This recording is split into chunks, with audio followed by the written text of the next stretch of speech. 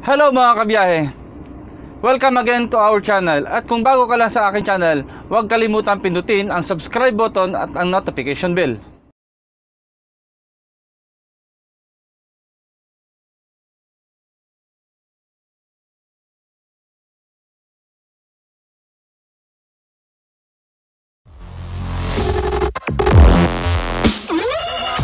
Ang gagawin po natin ngayon ay i-demo ko kung paano i-drive itong Mercedes-Benz Actros 2040 model. Mga kabiyahe, ito yung kanyang ano dashboard panel.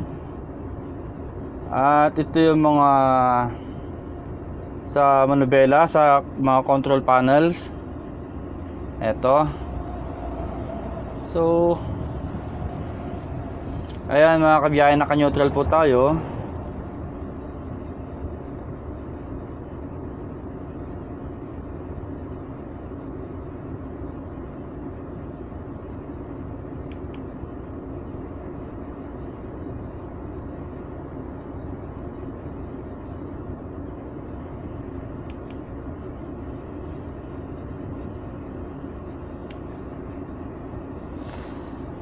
So naka naka-andar na po siya mga kabiyahe.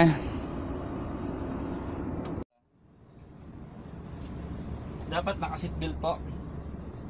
Saka ito po yung gear shifter niya. So kung mapapansin nyo, malit lang po siya.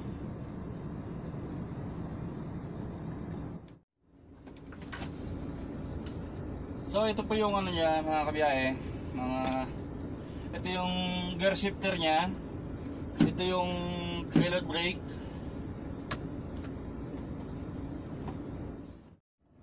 Ito po yung ano yung handbrake. Yan release apply.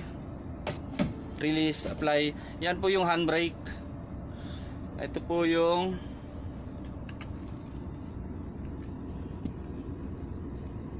yung gear shifter ng ano sasakyan sa Mercedes. So natitiklop siya. Ito yung handbrake ng trailer. Yan.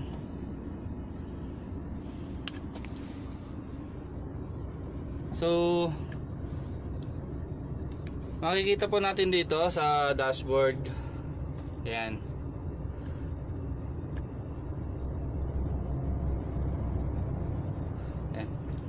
Pagpasok natin ng ano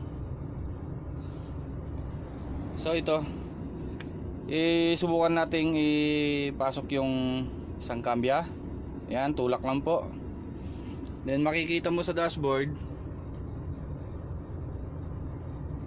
Ayan. Naka Nagblink yung number 2 Tapos apakan yung clutch. Ayun, pasok na. So naka Number 2 up na siya. Then dito doon po natin i-release yung handbrake. Tapos yan. Aabanti po tayo. Yan, umaabanti po. Yan. So kung gusto mo ulit magdagdag ng cambio ng gear press natin para yan makikita mo dito naka reverse Ayan. Ayan, naka R siya, ibig sabihin reverse. So, i-atras natin para Ayan.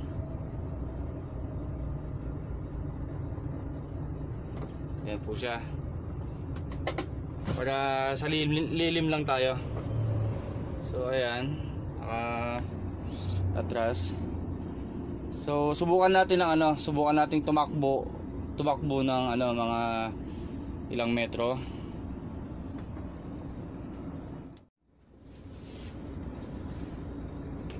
unang pasok ng kambya.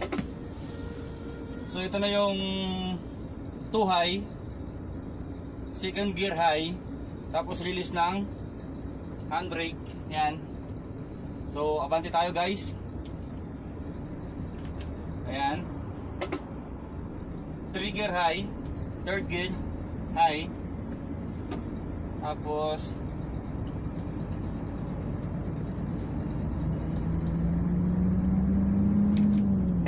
fourth gear high.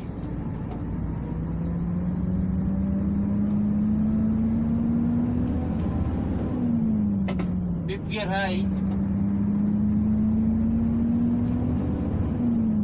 Sixth gear high.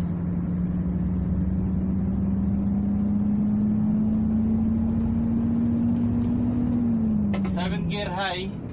So narinig nyo yung tumutunog guys. Nakakabiyahe yung itok yung mga ganon. Yun po yung sinyalis na pumasok po yung ano gear natin. Pero pag hindi po pumasok yung gear natin ganito po yung tunog. Ganito po. Saglit lang.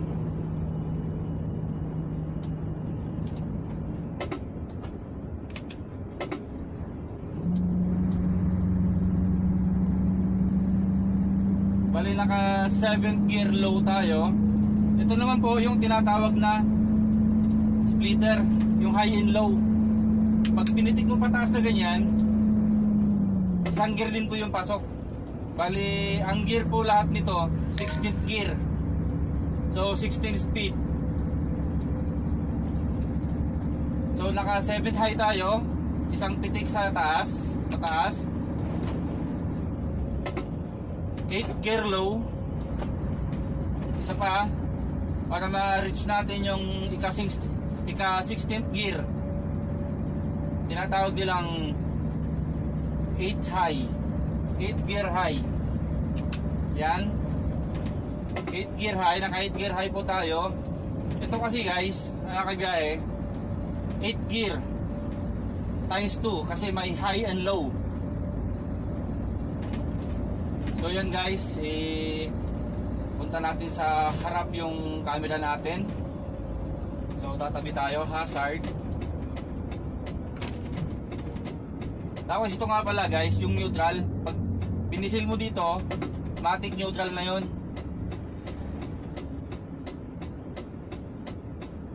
Tabi lang tayo saglit. Yan.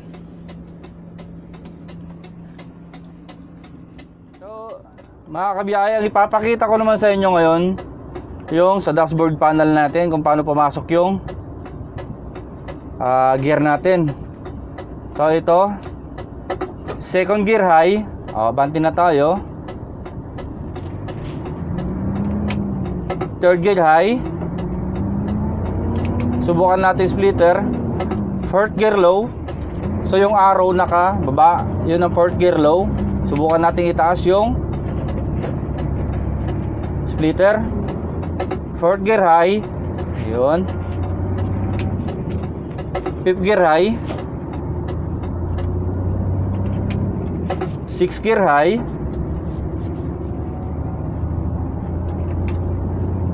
Seventh gear high. Diyan natin subukan yung ano, yung sa splitter, yung high and low. So naka 7 7 gear high tayo. Isang up. Isang up nung ano ng splitter. 8 gear low. Isang up ulit sa splitter. Yan. Na-reach na natin yung 8 gear high. So ang ibig sabihin niyan, na-reach na natin yung 16th gear niya. Kasi ang system nito, mga kabiyahe, guys, um, 8 gear siya, pero may high and low. Yan. So, subukan naman natin yung nananakbo tayo na nakaharap yung camera, itatabi ulit natin. So, pina- ipinakita ko na sa inyo kanina kung paano mag-neutral. Isang pindot lang doon sa right button ng ano ng gear shifter niya, sa shifter niya. Yan, itatabi natin para hindi tayo makaabala dyan sa daan. So, ito na, sa tabi na tayo. Ah. Ang gagawin naman natin is umpisa naman natin sa umpisa uli. Bali, ipapakita natin yung kung paano manakbo sa ano. Yan. First gear, ah, second gear high. Ayan. Naka-placer tayo ng ano, kanan ay kaliwa kasi papasok tayo sa kalsada. Ayan. Yan po, yung naka fifth gear high na tayo. Yan.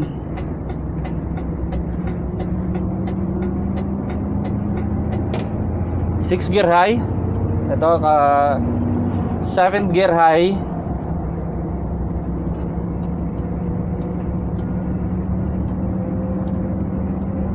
Papasok tayo sa pang 8 gear. 8 gear high tayo. Huwag na tayong duman sa 8 gear low. 8 gear high. Ayan.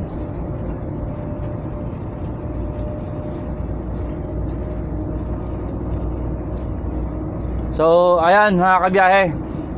Um, siya nga pala. Kahapon umalis ako sa damam ng mga